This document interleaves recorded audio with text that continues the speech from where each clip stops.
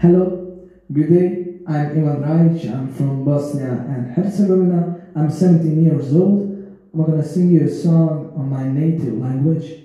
My message to you is no fear, no limits, no excuses.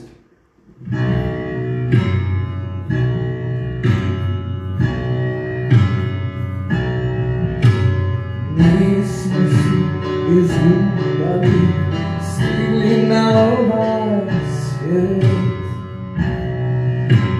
Proplatali u času kad nema niko da te zavoli.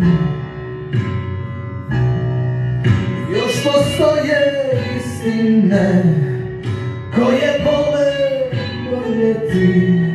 Zbog mene nikad, nikad nećeš plakati.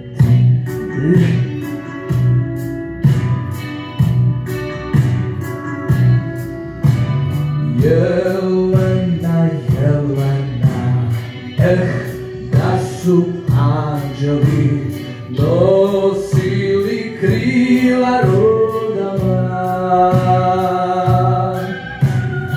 Jelena, Jelena, da su bar bogovi imali malo vremena.